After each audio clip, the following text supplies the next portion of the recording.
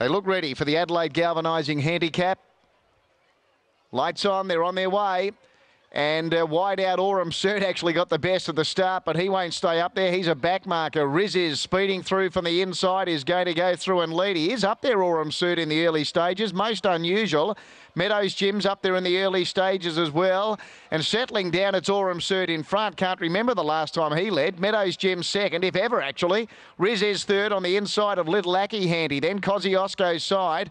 Action Again was next from Quick Lover. Gambling Guru's back third last. Back with him as they travel to the turn. Actually, Little Lackey and Belfast Boy and draw forwards up running fourth. About to turn, Aurum Cert in front. Meadows Jim second. Riziz third. Draw forward fourth. Next then Kosciuszko's side from Action Again. Then Quick Lover. Gambling Guru hooked out to the outside by Holder. And then Belfast Boy and Little Lackey. Aurum Cert joined by Meadows Jim. Draw forward wider out with Kosciuszko's side. Gambling Guru. Riziz getting a split. Meadows Jim took the lead. Getting through Riziz.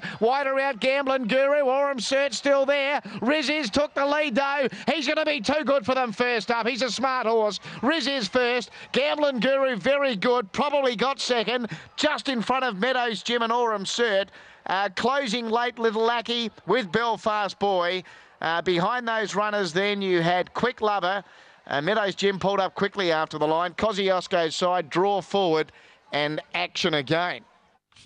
Okay, so that is Morphettville, race number six. We'll be back for race seven. Uh, race, uh, that's race five. Uh,